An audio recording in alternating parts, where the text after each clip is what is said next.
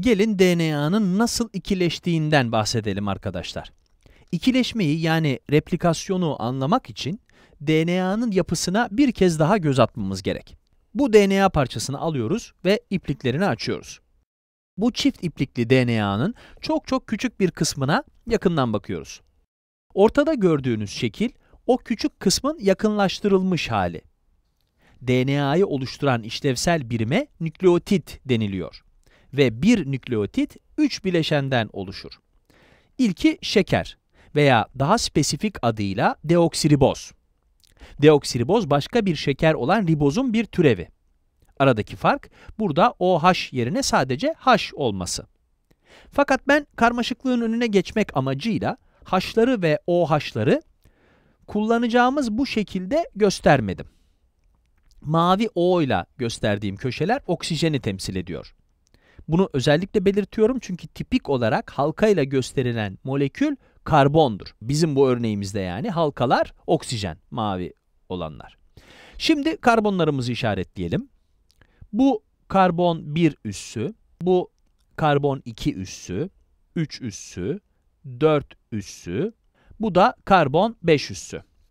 İki zincirdeki şekerlerin zıt yönlere baktığını fark etmişsinizdir.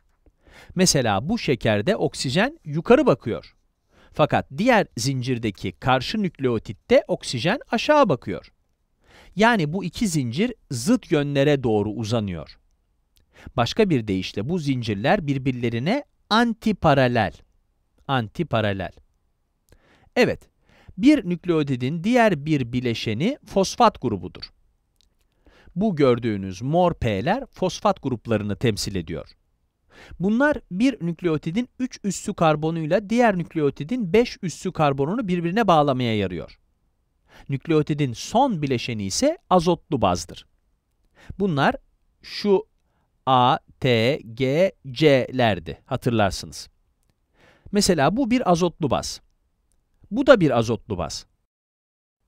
İşte bu da bir adet nükleotit oluyor. Bu da bir başka nükleotit.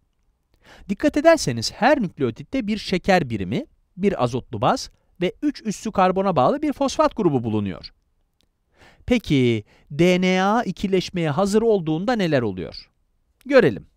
DNA zincirimizi alıp yana doğru böyle uzatıyoruz. Burada bir enzim belirdi.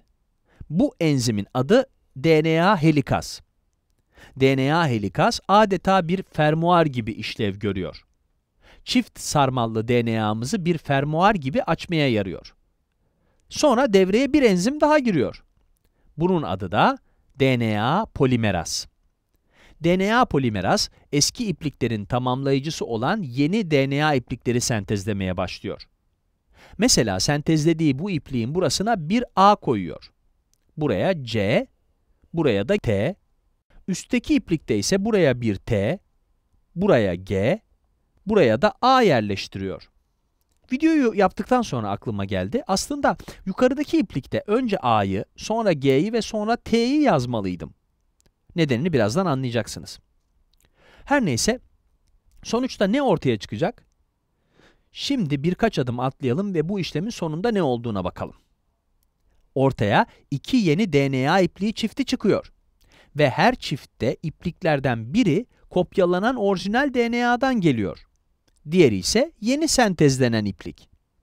Eski ipliğe ana iplik, DNA polimeraz tarafından sentezlenen yeni ipliğe ise yavru iplik adını veriyoruz.